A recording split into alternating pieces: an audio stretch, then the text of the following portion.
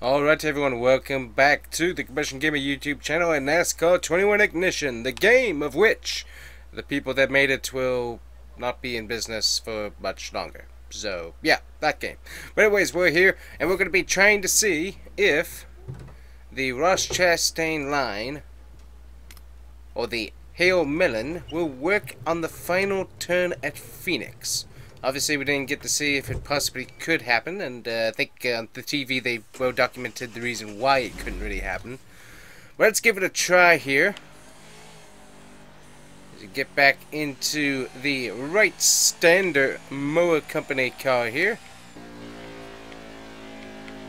Get a good look at it here. Running the 43 colors, already got damage on it, of course. This car has absolutely terrible handling. A beautiful car there. So there's our turn. Now what I didn't pay attention to because I was looking at my beautiful, beautiful race car and the terrible camera angles that are available in this game. Uh, I didn't really take a look at the turn. So let's get over here and we're going to try it out. So we're checking out uh, last gen. Good night, the car will not turn. We're checking out the last gen NASCAR. And then we're going to try out uh, the correct next gen. So, we can kind of see from here, yeah, that's pretty difficult. And you have a really long way to be able to go to really be able to use it. That's what I'm seeing right there. So, man, the car is just handling very finicky though. Alright, so there we go. We got uh, the one car, so Let's see if we can get a good gauge on what we need to do here. So we kind of want to enter right about here.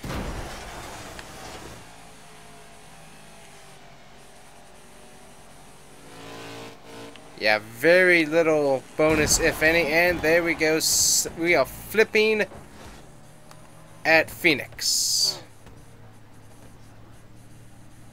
Yeah, there's a reason why this game is uh, worthless. Alright, so here we go. We actually, oh, we actually have Ross Chastain in the race here, so maybe he can show us how to do it.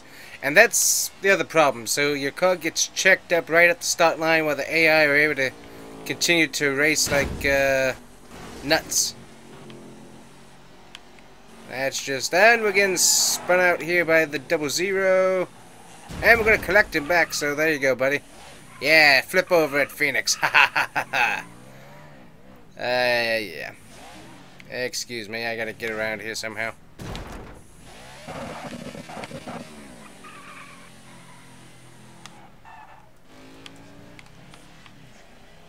There we go. But yeah, you see the car turning by itself here? That's pretty crazy. So let's see. That's still one of the main issues why this game is just so bad is just the self-steering car syndrome. That's a super problem. So we need to get up to speed so we can even try this turn thing in an actual race. But as I said, I don't think it's going to work, at least for this car anyways. So let's see. We're going to get ourselves up to speed here. Now watch the car. Yeah, yeah, so... Ah, yep, so... The car just has absolutely awful handling. I don't think we can do it with this car, that's for sure. Because this car is just not working out for us very well. Eh, yeah. Yeah, this is not going to work for this car. Well, we'll try it with the next gen.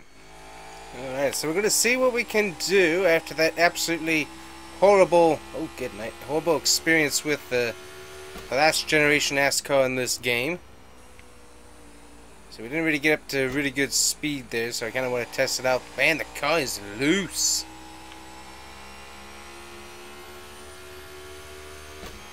Like there's like like with F1 2020, obviously a much older game, but honestly I love it. I love the game. It's a great game, and even NASCAR Heat 5, you can get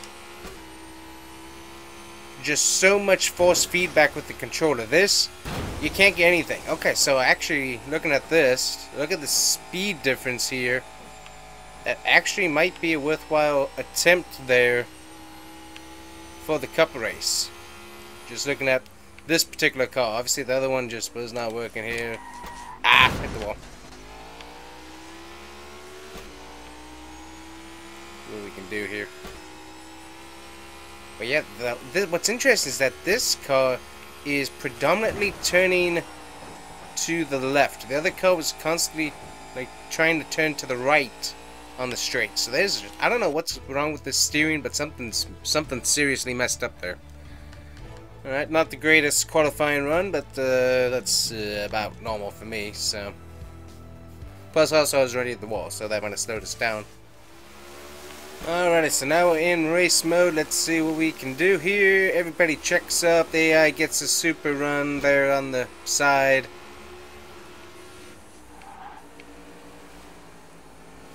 I do love the graphics though. I mean, that is one thing that you cannot say that this game did bad was the graphics. I think the problem was that they probably focused too much on the graphics, but still. And we took out the Mahindra car. No! I love that Mahindra car. That Mahindra car is awesome. Hello, sir.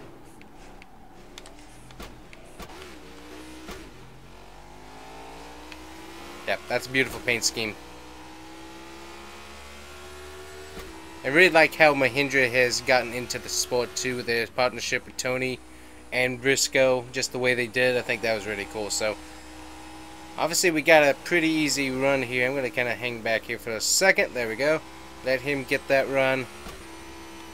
And let's see what we can do riding the wall here. So a little bit slower, didn't have as much momentum into the turn, didn't really get us much. We stayed about even though. So we're just testing to see if it's possible to like gain a position with that move here. Yeah, you see that the AI just checked up so much in that turn. So I just I just let off the throttle this. So let's see what we can do here. Easing into the wall here and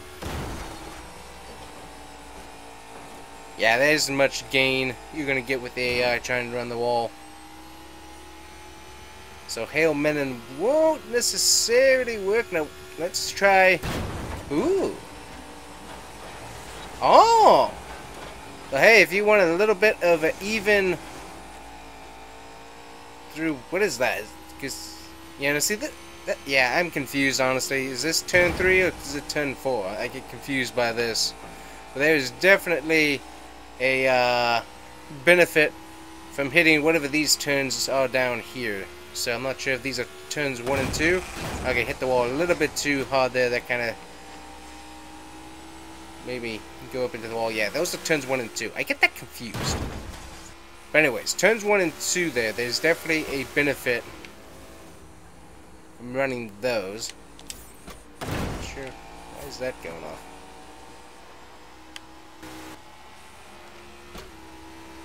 Alright, so we'll try this entry here again.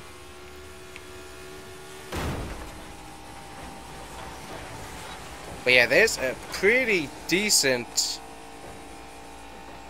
if you just want to do that and not have to fight on the bottom, there's actually a fairly decent uh,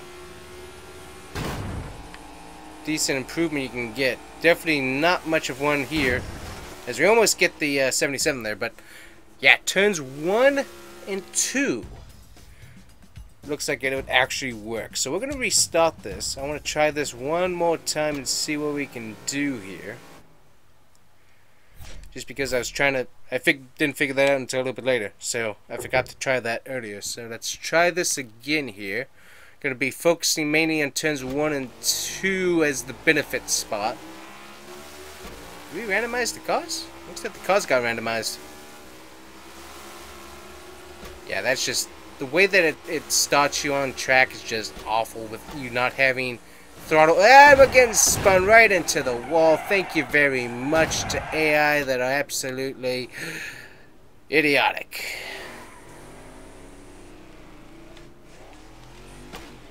That's another reason why people don't like this game. Because the AI have no sense of your existence. Until you wreck them. Then they have a pretty good idea that you exist. Rather than that, yeah, these AI are just awful. No likey. Alright, so let's try turns 1 and 2 here. Terrible entry. Got to get that polished up, but I mean, you see, I mean, we can gain a little bit of time through the middle of the turn on Havik there, because we gained just a little bit, so we gotta kind of catch back up to him. Yeah, that'll really slow down, let somebody else catch up to us. There we go.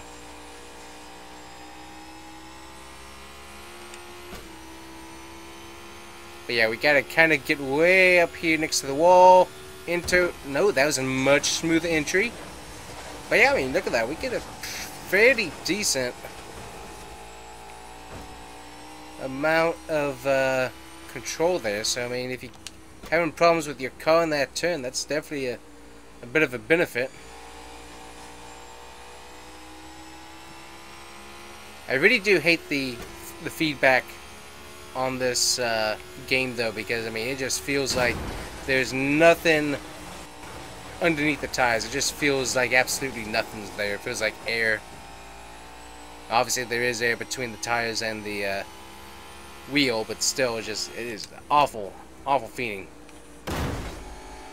It's just like you cannot feel what the car is doing. It's just very, very weird.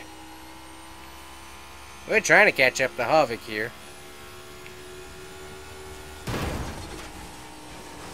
Yeah, I mean, look at that. That's a fairly decent gain right there. Obviously, he's going to get a little bit better acceleration. But, I mean, if you're running a long, long race without uh, serious damage, like tires going flat and all that, I mean, you could possibly, with getting turns 3 and 4 uh, perfected, I mean, you could probably really make up some ground here. So let's try this again. Just going to totally send it. I mean, look at that. I mean, Oh wow, yeah, we're making some pretty good ground up here. So Ziegler, the Ziegler car here is going to get ah, we're going to get spun out by the unsentient being AI that exists in this game. Actually, all AI are technically unsentient, but anyways, never mind about that. But uh, I mean, it can work.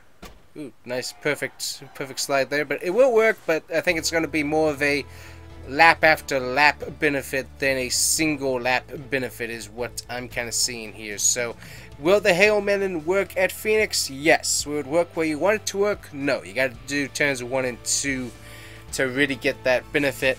And it's going to be a lap after lap process of really getting that to work for you in the end. So that's uh, that's my verdict. That's what I'm seeing and observing. Let me know what you guys have seen with the Hail Melon move at Phoenix. And we'll see you guys here next time. Now I gotta get myself a thumbnail. Make sure to like and subscribe, and we will be back next time. Bye-bye.